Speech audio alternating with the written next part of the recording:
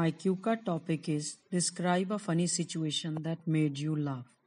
You should say when this situation took place, what happened, how you reacted, and why you found the situation funny. And the sample answer is Every human being is happy at one point or the other.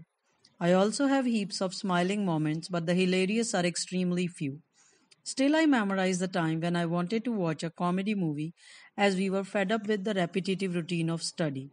That's why I and my friends decided to take a break for leisure.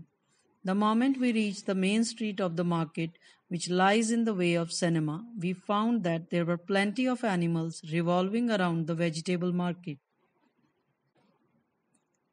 This created a traffic jam around the area. We spent a long time in the traffic jam, and then we decided to go to the cinema by walking.